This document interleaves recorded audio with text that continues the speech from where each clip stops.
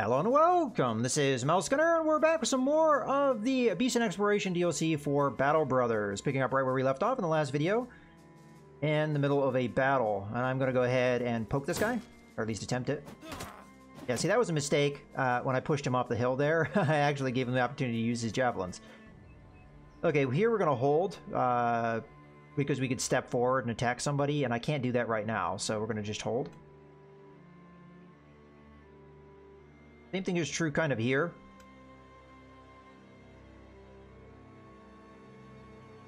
I'm gonna go ahead and reload and then just move up. Alright. You, I'm gonna try and stun. And try and stun again. Stunning him would be really important. Unfortunately, I didn't get the stun.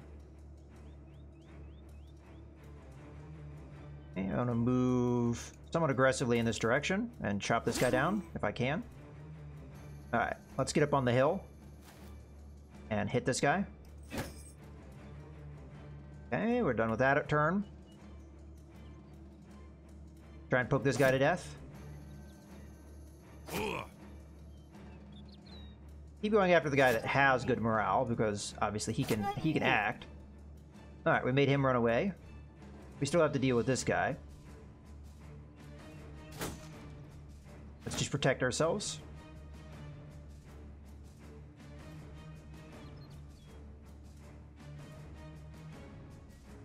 Right, I'm just gonna move up and kill this guy. Well, or attempt it.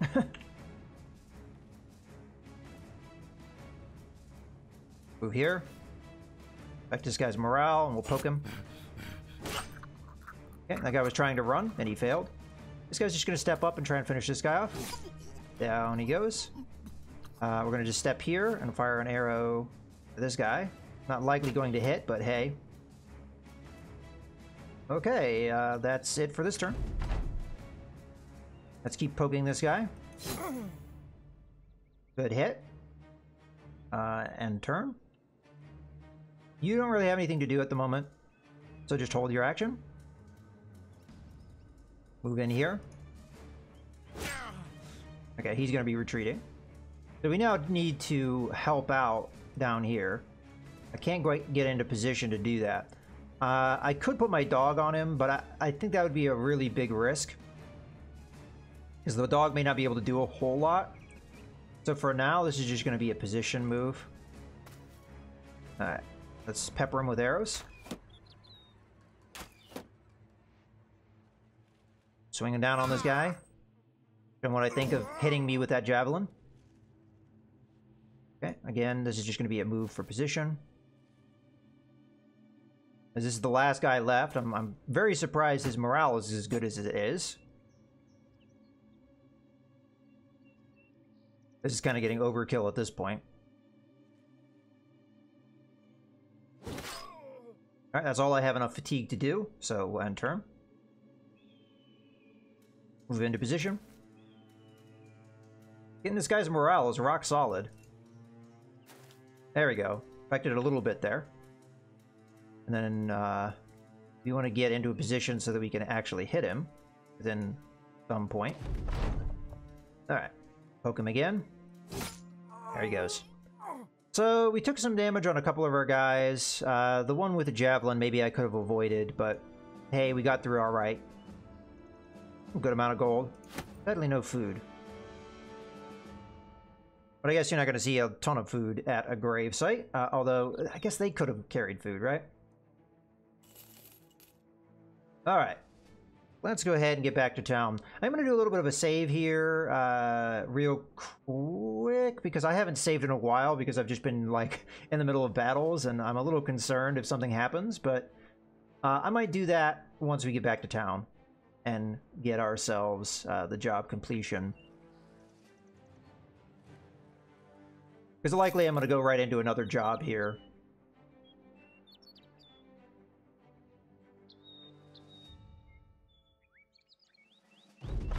Okay. They are no longer terrified, which is exactly what we were looking for. Randolph the Wise is talking to some of his men when you return to his room. He parts them and asks you for uh, uh, asks you of the task.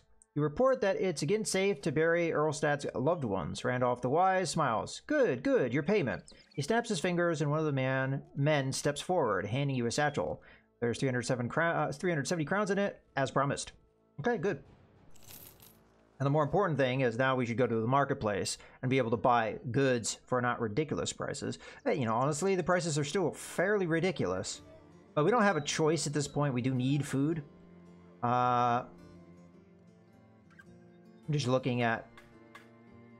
Yeah, all the goods are being sold for well more than they're worth. The only exception to that is ammunition. It's, I mean, it's being sold for more than it's worth, but it's not that bad.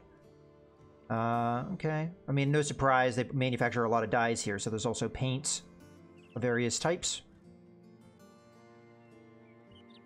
Common shields and your company's colors. Red paint, okay. This is used for helmets. Okay. Well, our colors are what? White and... I couldn't tell you what the next color would be. Maybe gold? I'd have to look at our, our standard. Javelins probably are not a good buy here because of the market. But yeah, we have to buy a little bit of food here because otherwise we'll, our men will starve. So uh, let's grab some ground grains. All right. I'm going to take a look at these jobs. but Before I do that, let's take a look at leveling my men up. Do we have a level up? Uh, this guy is now uh, feeling better. So we'll have him move into the front. Uh, but we're also see what we can do with our our man here. So what have we done with you so far? We gave you fast adaptation because that is a, a good a good ability for any use case. Very uh, generally good. Let's see what we can get. Again, you're rolling very well on range combat skill. I feel like I have to give that to you. You could be a backup javelin thrower, so wouldn't necessarily be bad for that. You've got good fatigue, so I don't see a reason to level it up, and we didn't roll all that well for that anyway. The resolve's kind of bad, but we didn't roll good on that, so... we give you some range defense, because that, that, that will be useful in general. Not sure what to do after that. Uh, I'm tempted to just take the resolve. I mean, we roll well for the initiative, but that's one of the skills I don't really value all that highly. Yeah, it does have its use. Being able to go first does have its use. But if the enemy holds their action, it actually can be detrimental to you. Because what they'll do is they'll You'll hold your action, they'll hold their action, and then you are forced to go first if your initiative is higher. So it does have upsides and downsides. The upside is against enemies like the uh, Goblin Wolf Riders. Uh, they tend to have really, really high initiative. So if you don't want them to be able to engage you, uh, because they could also move very far, initiative will matter in that uh, particular circumstance. But that's such a, a uh, you know very particular use case Another example would be dire wolves. I believe also have very high initiative, so and they can also move very far.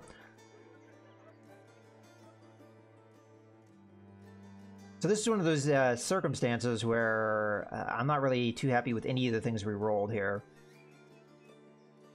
I think we take the hit points. It's a, a decent roll, and hey, it, it, it helps you from not dying. Alright, well, because you rolled well and continue to roll well on your range combat ability, I'm going to use this guy as a secondary uh, little flank guy that we could use. Uh, and even if we don't use him that way, still giving him javelins would not necessarily be a bad call. So that's what we're going to do. All right, well, that's the singular level up that we are able to get. Let's I'm going to go ahead and put a little bit of a cut here, and I'm going to do that save that I uh, mentioned. All right, I did my little bit of a save. Let's take a look at these contracts. So, two two skull contracts. Let's see what they are.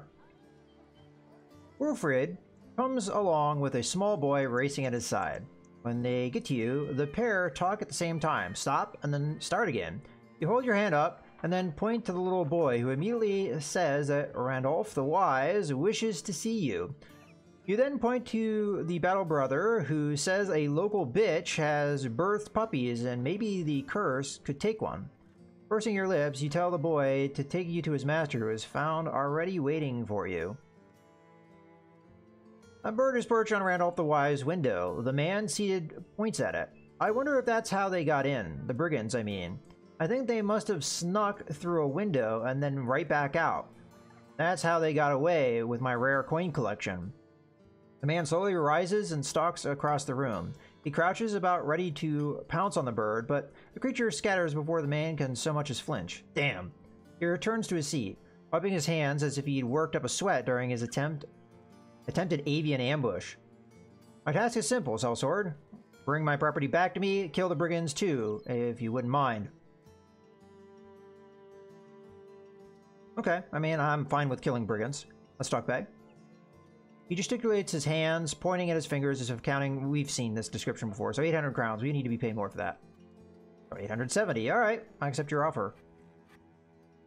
We need to follow the tracks and all that stuff. Uh, accept the contract. All right, so is there anything we want to do in this town before we go do that? I mean, honestly, getting this town to like me would be nice because right now the prices suck really bad. Uh, we are currently at a neutral point, so there's that. I don't know how close it would be to get them to actually liking me. Uh, what is the name of this place?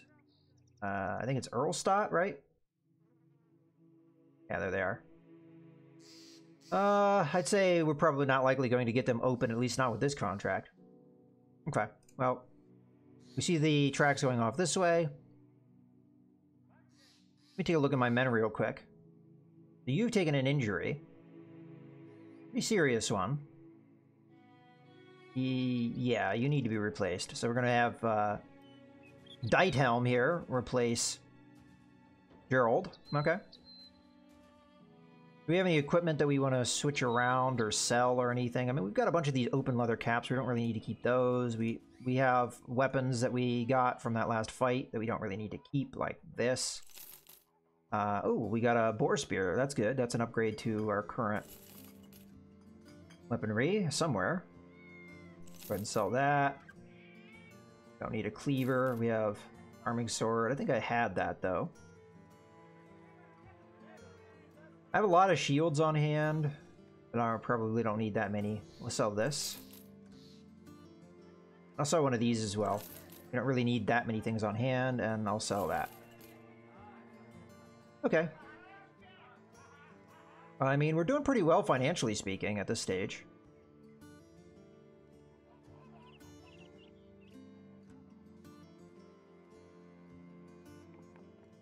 Okay.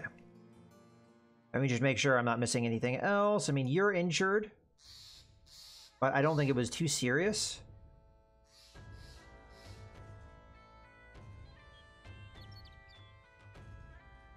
We could replace him. Just to be on the safe side. We'll see how long it takes us to track down these men. And then I may make that decision. Okay, let's get moving.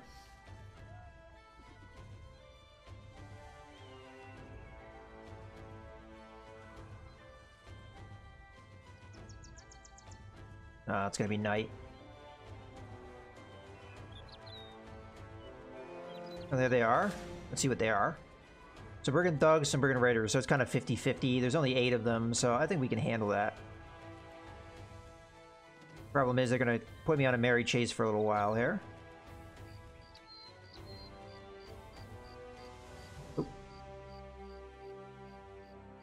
Slow down a bit, but I honestly don't want to fight them at night, so... I don't necessarily want to catch them too quickly. I also don't want to starve, though, so let's get uh, going. Okay, it's going to be dawn soon, I think. Come on. Go get him. There we go. You catch a group of brigands uh, lugging your employer's property around. They seem shocked that you have found them here, and no time is wasted trying to parley. They arm themselves, and you order the curse to charge to arms. So I'm hoping that guy healed and all the time that I spent chasing him down. Okay, let's go ahead and engage. We already kind of knew what their composition was.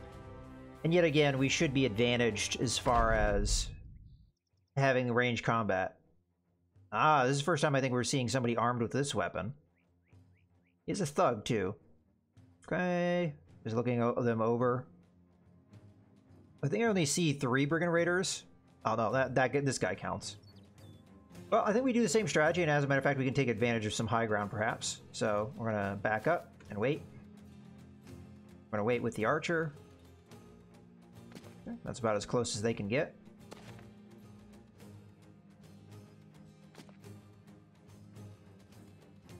A lot of their men have shields, so we're going to be in a similar situation to our last fight. Alright, we'll go ahead and step back two paces. And end turn because I don't really see anything else you're going to be doing. Step back two spaces. Turn. Fortunately, it doesn't look like... Ah, I forgot to switch over to the javelins. Well, we can do that for a free action, so it's not that big of a deal. Uh, I don't think it's likely somebody will move into a spot that we can attack them, but we might as well hold for it, just in case. I was going to say, because that guy could move where uh, he just moved. Okay, we're going to move back two. And hold, see what happens. But I don't think we're going to be able to get to the high ground, unfortunately. Okay, you mostly healed up. Uh, you're not going to be doing anything else, so just end your turn.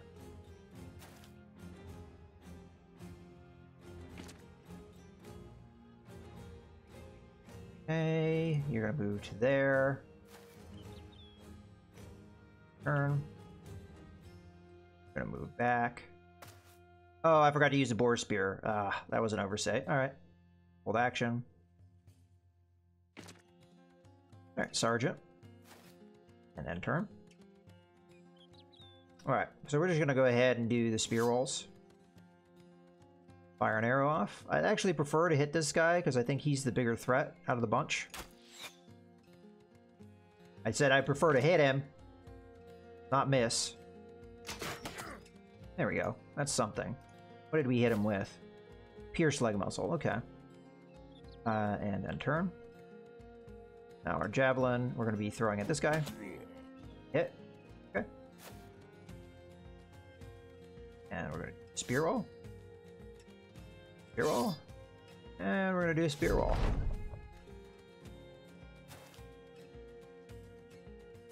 Haven't quite engaged me yet. And if they waste their turns doing that, I actually may be able to get the high ground. The question is, do I want to do that?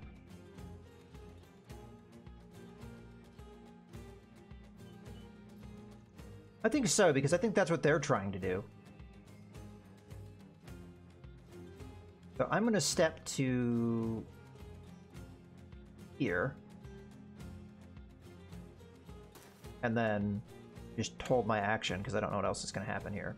If they don't engage, then that makes it really easy on me on what I'm going to do. So here and hold. Uh, so everybody's going back one pace.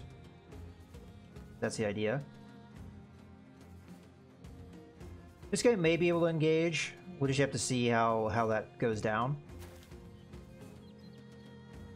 Uh, we're holding our action just in case. Okay, they held their action, so that's perfect.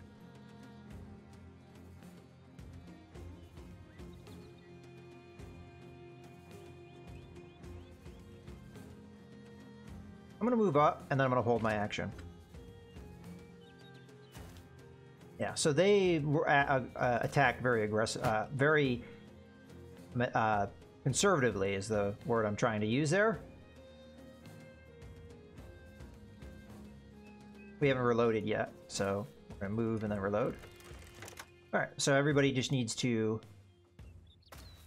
back up a bit. Um, you need to move to here. Then probably the easiest guy to hit is going to be the guy with the, uh, right there. Good hit. Can end turn safely. Oh, they tried to engage, but it didn't work for them. And spear wall and turn. Alright, so we got away with that one. And spear wall and turn. Spear wall and turn. And spear wall and turn. Excellent.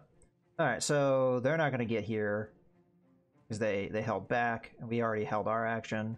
So this is that circumstance where us having better initiative doesn't actually go in our favor. All right, we do have our shot though. Uh, I don't think this has range. Oh, actually, this is a good point, I think, to go ahead and put a cut in the video. So I hope you guys have enjoyed. This is Mouse Gunner, signing out.